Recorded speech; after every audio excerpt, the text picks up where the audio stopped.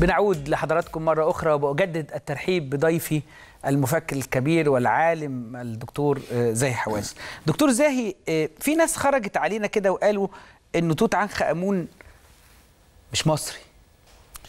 والله صور يعني أنا ده يعني الحقيقة يعني هقول لك هو الدكتور وسيم السيسي كاتب مقالة الأسبوع اللي فات يوم السبت اللي فات وكاتب حتة تحت.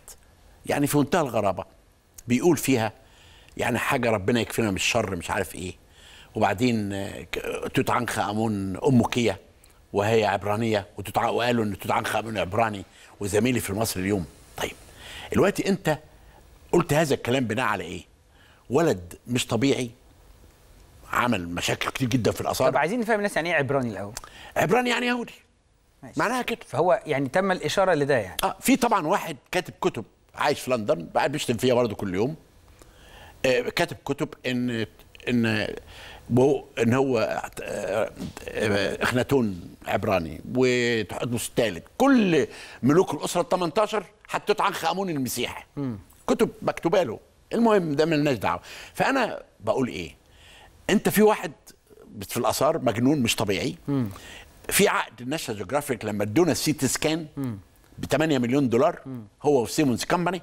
وخدناها وقلنا لهم تعملوا فيلم قصاد ده. فعملوا فيلم عن توت عنخ آمون. طيب اقرأ العقد كويس. الواد اللي قاعد يتكلم في التلفزيون قال أنا هقدم بلاغ في النائب العام ضد الدكتور الضماطي وزاهي حواس ما طبعا لا هو قدم ولا العقد فيه كلام من ده اطلاقا. والعقد عندنا. ونمرة اتنين الفيلم موجود. شوف الفيلم. نمرة الحاجة التانية بقى إن المشروع ده مشروع مصري. مفيش فيه أجنبي. في يحيى جاد أستاذ دكتور يحيى جاد المركز القومي للبحوث الدكتورة سمية القصر العيني. طب إحنا عايزين نرد عليهم. هترد على مين؟ هترد على مين؟ هو أنا ما أنا برد على عندي كتبي. كتب العالم كله بيقراها. ما أنت هترد على واحد مصري بيقول هذا الكلام وبيتهمني أنا. اللي هو بدافع عن آثار مصر بروحي وحياتي وإن أنا كنت لا أسمح لواحد أجنبي يدخل معانا عشان ما يعملش العملة دي. لأن ممكن أنت صح. تجيب واحد أجنبي يعمل DNA على توت عنخ آمون يقول لك ده عبراني. حلني بقى لما تكذبه صح. لكن تعالى بقى المجموعة المصرية دي نشرت العديد من المقالات باللغة الإنجليزية. كتاب ضخم جدا اسمه Scanning the Pharaohs اللي عملناه على أعلى مستوى. شوف اقرأ.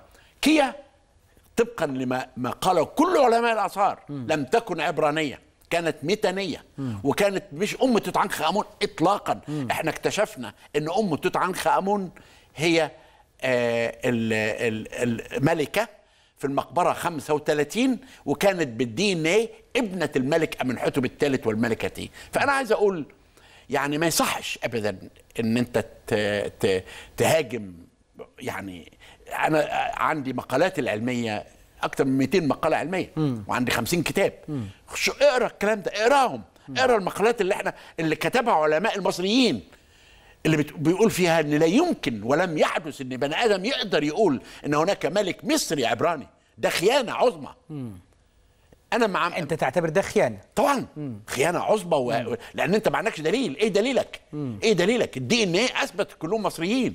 لا يوجد أي دليل إن في أي حد عبراني اطلاقا. وهذا الكلام أنا يعني ما كنتش عايز أرد عليه. يعني يعني يعني يعني هذا لا طبعا. طب ده لما اتعمل ال- اللي هو ال forensic techniques حبوا يتصوروا شكله إيه؟ فده تصور عمله واحد آه، آه، واحد فرنساوي. وفي ابن الدكتور جلال جلال السعيد الأستاذ ال- ال- ال- الجراح المشهور عمل تصور لشكله. لكن طبعا دي أشكال ليس له صلة بالواقع اطلاقا ده كلها تخيلات. ليس لا تمتد لأي قواعد علمية أو لا لا. اطلاقا اطلاقا. لكن إما تبص للحقائق العلمية لم يحدث في أي مقالة علمية ولا في أي فيلم من الأفلام اللي عملناها. إحنا عملنا عن حتشبسوت وعملنا عن رمسيس الثالث وعملنا عن توت عنخ امون وعيلة توت عنخ امون كل الأفلام اللي موجودة على اليوتيوب هاتها وشوفها. إن ما يطلع ولد في التلفزيون يقول لك ده ده زاهي حواس وممدوح الضماطي عمل عقد مع الناشونال جيوغرافيك عشان يقول الفراعنة عبرانيين طب بالذمة وقدم بلاغ للنائب العام. هل ممكن حد يصدق هذا لا الكلام؟ فأنت بتنصح بعدم الرد أصلا على طبعا. هذا.